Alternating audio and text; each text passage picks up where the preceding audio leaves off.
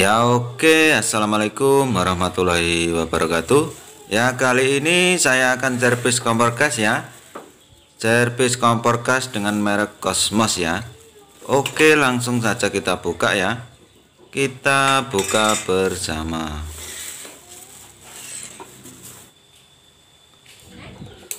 Oke coba kita nyalakan. Nyalanya begitu api yang tengah nggak mau nyala ya? Yang nyala api uh, api pematiknya itu nah itu. Oke mari langsung kita bongkar saja ya. Kita bongkar biar bisa diservis.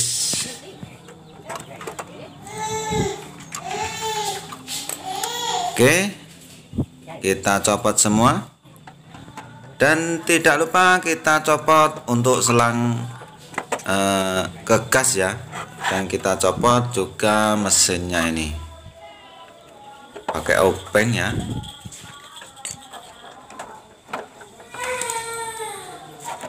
Oke.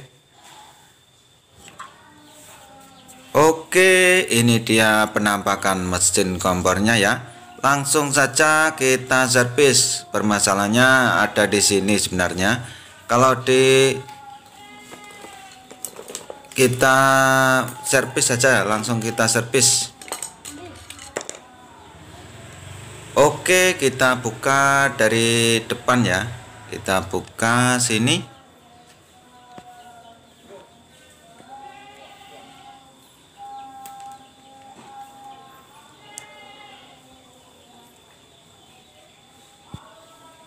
Oke, ini tutorial mudah-mudahan bisa bermanfaat bagi kita semua, khususnya bagi pemula ya.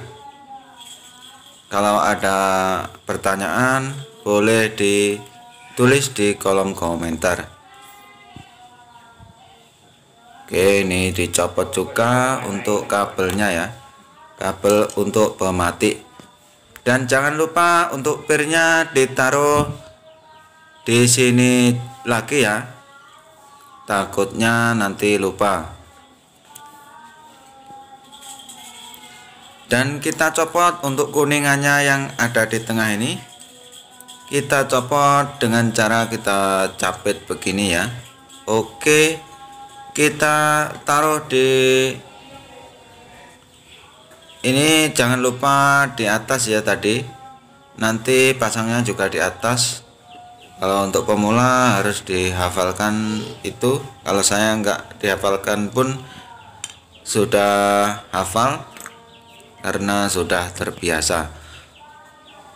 Oke langsung saja eh, kita bersihkan dulu. Kita bersihkan. Dan inti permasalahan ada di atas ini ya. Ini tersumbat biasanya. Oke kita copot ya.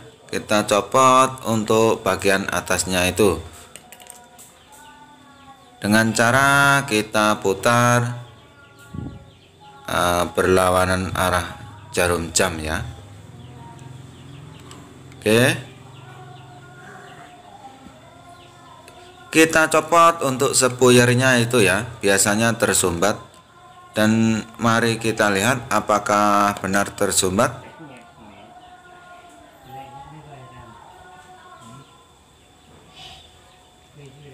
Ya benar sekali itu tersumbat ya. E, maaf ini kameranya agak blur. Ini tersumbat sebenarnya ya tapi di kamera tidak terlihat atau tidak kelihatan. Nah itu tersumbat tidak bolong-bolong. Dan mari langsung saja kita okrok-okrok ya Atau kita bersihkan. Pakai kabel atau apa saja benda yang penting bisa masuk ya. Kita bersihkan untuk kotorannya yang ada di tengah itu. Oke itu sudah keluar kotorannya Itu sudah keluar untuk kotorannya. Oke setelah kita bersihkan jangan lupa dibersihkan dulu juga bagian sini ya. Takutnya ada kotorannya.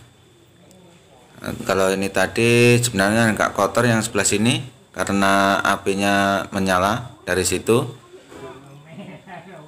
Dan jangan lupa bagian dalam dibersihkan juga ya kita bersihkan untuk kotorannya.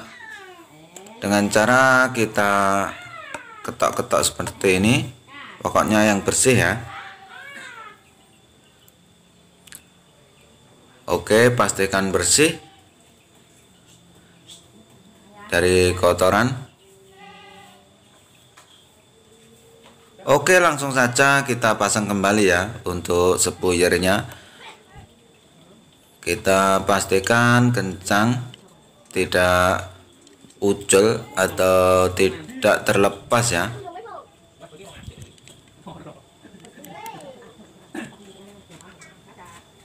Oke ini sudah kuat. Dan pastikan untuk kotorannya tidak ada ya. Oke dan langkah selanjutnya yaitu kita bersihkan untuk kuningannya nih ya. Ini yang mengatur keluarnya api kita bersihkan. Biasanya kotorannya masih ada di sini dan kita bersihkan juga yang di sini. Dengan cara kita uh, kita bersihkan ya pakai apa terserah. Kalau saya pakai kabel ini. Kotoran-kotoran ini kita bersihkan. Oke bagian dalam sini juga kita bersihkan ya ini kotor Oke, setelah kita pastikan sudah bersih, kita masukkan kembali ya. Nah, ini tadi yang ada di atas. Ini yang pokoknya yang ini buntu ini ada di bawah itu kan bolong dan kita masukkan yang buntet yang yang apa itu? Yang bolong sama yang buntet itu kita satukan biar tidak keluar gasnya ya. Dan jangan lupa untuk pernya ya. Biasanya kalau pemula biasanya lupa untuk pernya ini. Kita pasang juga untuk pernya ini.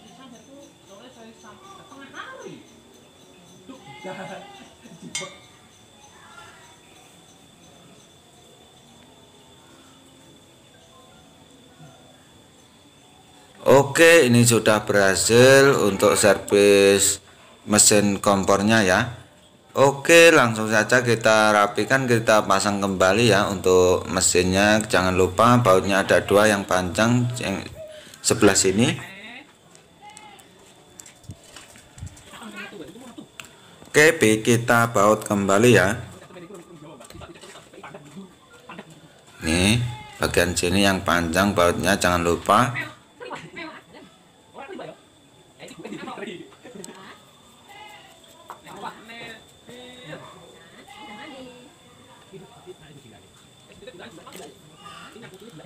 Oke setelah kita baut dan kita pasang kembali untuk kabelnya ya. Ini kabel pematik wajib wajib dipasang ya.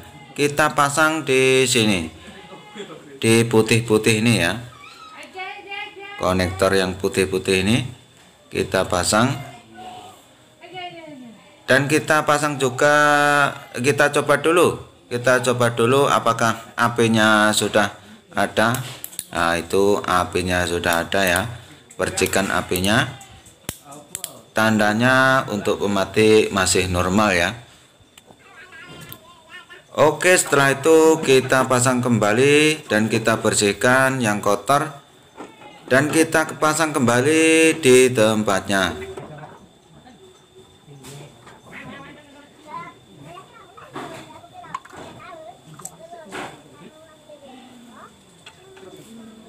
oh ini patah ini ya.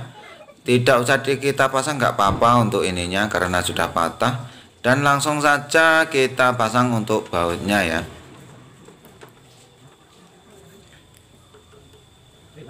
Kita baut yang kencang. Tuh jatuh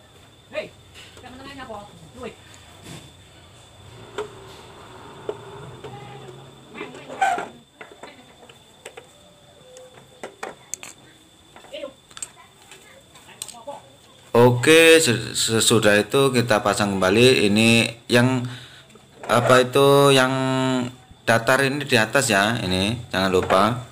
Nanti kebalik bisa patah. Oke, setelah itu kita pasang kembali untuk selangnya ya. Kita pasang kembali.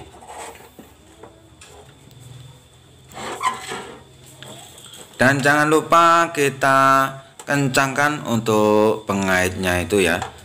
Pakai obeng. Kalau ini pakai obeng min ya.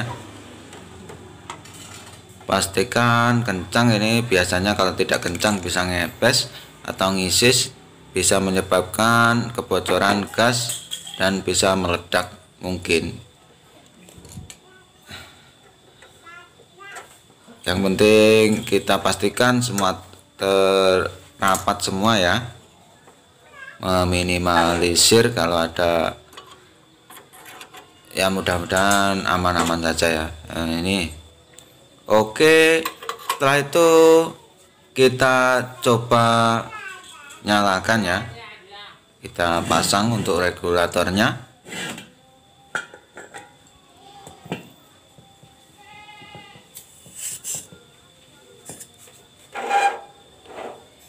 Uh, yang pertama itu mengisi gas yang ada di selang ya. Uh, dan yang kedua ini alhamdulillah sudah nyala dan apinya biru alhamdulillah. Apinya biru.